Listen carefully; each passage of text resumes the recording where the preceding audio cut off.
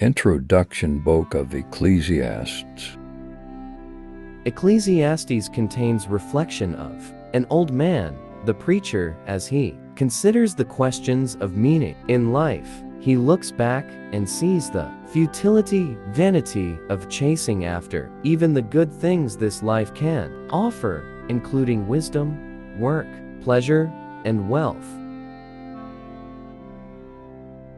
Even if such things are satisfying, for a time, death is certain to end this satisfaction. In fact, God's judgment on Adam for his sin, Genesis chapter 3 verses 17 to 19 echoes throughout the book, especially chapter 12 verse 7.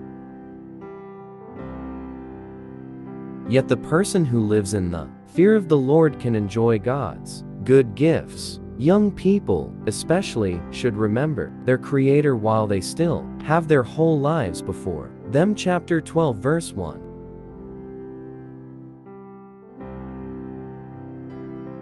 Traditionally, interpreters of Ecclesiastes have identified the preachers, who is also called the son of David, king in Jerusalem chapter 1 verse 1, as Solomon 10th century BC,